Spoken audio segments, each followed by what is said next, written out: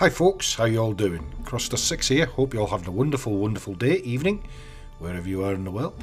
Welcome to the channel, and if you're new to the channel, I really hope you enjoy my content and it inspires you to hit that like and subscribe button. You don't have to, of course, I uh, appreciate that not everybody wants to, but it would really help the channel out if you did. But anyway, on with today's gameplay.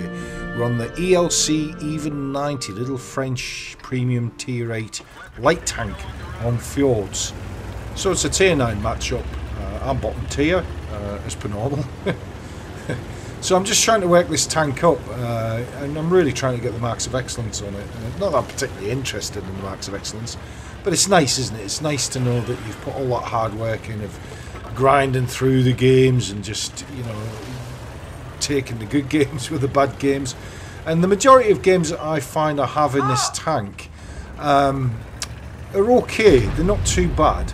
Uh, the camouflage rating on this thing is just insane. So, you know, with that effect. And the cannon on this is, is pretty decent. It really is. Uh, you do do damage. Um, but it, it's one of these tanks that you've got to kind of play uh, gingerly, uh, if that's the right word. Now, I wouldn't say it's a, a glass cannon. It hasn't got a lot of armour, obviously, because it's a light tank, and that's the way it's supposed to be. And, and the light tank is predominantly used for going out and getting the information for the rest of the team to let them know where the movements of the enemy uh, side are effectively. And that's what I try to do in every game. And when I do get chances to take shots like this one here on the Leopard, you know, you've got to take them shots, haven't you? And hopefully if you get spotted, you can get, you're quick enough to get out of any form of danger. So there's the first one down. Um, so yeah, I was quite pleased about that.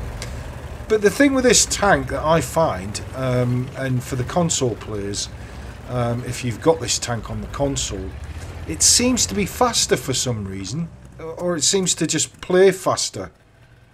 I, I don't quite. I'm, I'm finding because obviously I've got this on the console, but I do find that it seems to be slower on the PC version of the game than the console. Now that might just be me because uh, I'm so used to playing it on the console, I guess.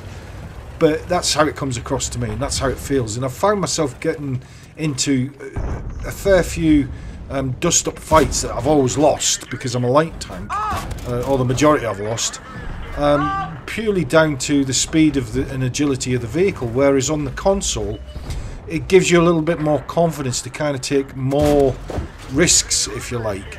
Um, but that all said and done, it's still a brilliant tank on the PC.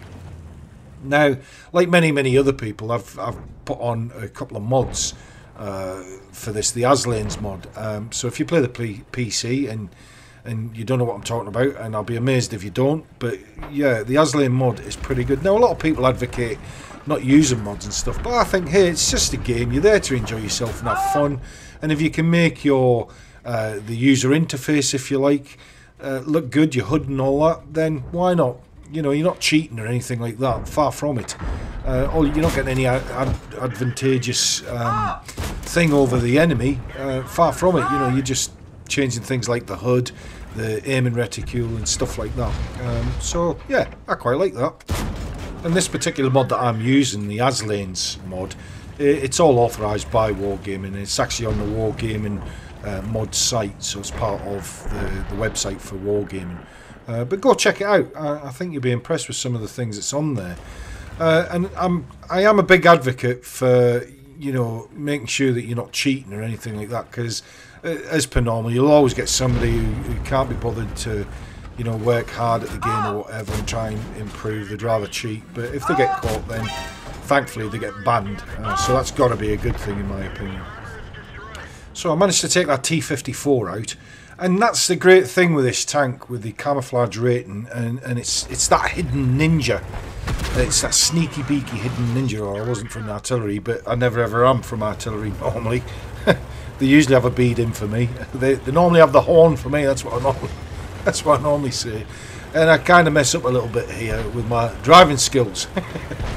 sorry, buddy. I am, I'm really sorry I didn't mean to ram you there. Uh, not that I did any damage to you, but but it's uh, yeah. I need to get a couple of L plates, I think, for this tank. Um, so yeah, I'm just working my way around, see if I can get a shot on this Progetto, which I do. Um, missed the second shot, But that's all good. It's all good. I've still got one shell in the container. There's artillery, the dreaded artillery. Managed to get a shot into him. And so really I'm just kind of running for my life at the moment just to try and reload uh, with a view of turning around and coming back in to the actual fight itself and see if I can help out a little bit more. Now believe it or not I don't mind uh, one artillery in a game.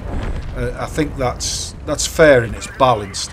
But when you've got like you know three, two, three artillery in the game, it just I don't know how many times that my game has been absolutely wrecked by artillery in, in very early on in the game, and that's a shame because it kind of takes the enjoyment out of the game itself, which is all supposed to be about fun. Now, I'm not knocking people who play artillery.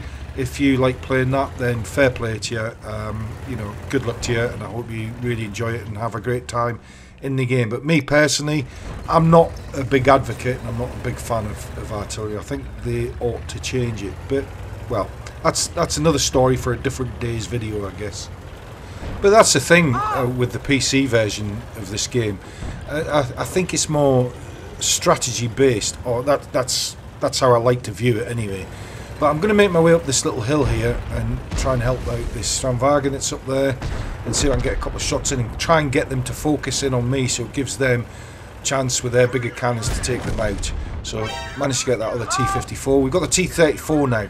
Now this is a beautiful thing with this tank is it's so small that as long as you get along the of these big tanks, they can't shoot you. He tried there and he missed. So again, I'm trying to get him to focus in on me, stay at his side. I'm reloading and somebody takes him out. So that little plan of mine worked perfectly. Uh, and it doesn't always work like that for me. Trust me, I tried. I tried it the other day with a tortoise, and he crushed me and killed me.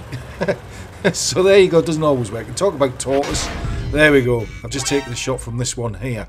Now, at this point, I'm trying to think to myself, well, how can I get round him? But thankfully, he came down and one of my teammates took him out. So that's all good. So we've only got one tank left now. Um, so yeah, I'm just thinking, well, hang on a minute, I've got an op to do. I've got to try and capture the base as one of my ops. Um, so they've only got one tank left, the Type 61. Uh, so I'm thinking, well, he hasn't been spotted yet.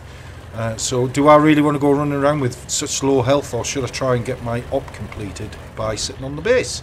Uh, but at this point he's now spotted and I'm, I'm kind of having this this little dilemma with myself. Should I go and help out or should I try and just get on the base? And I've decided there's enough of them over there that are going to take him out so I might as well get some capture points and see if I can get my op done. And I know that we've got two tank destroyers over there engaging the Type 61. So I'm, I'm kind of thinking to myself, well, this should be okay. They should be able to take him out. It shouldn't be too much of an issue for them to. And plus, we've still got artillery in play, uh, so he might be able to get a shot at him. But being selfish, I'm thinking, well, you know, if I can get my up done, that's another little bonus to me.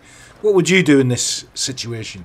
Would you have run around there to help? Bearing in mind I'm on five kills, uh, and it would have given me my sixth kill.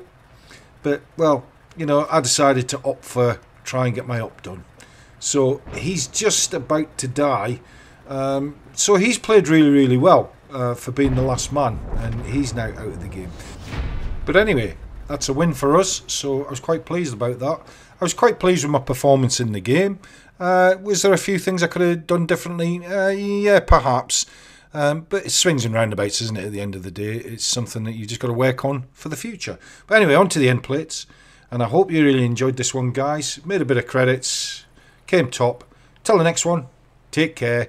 Bye bye.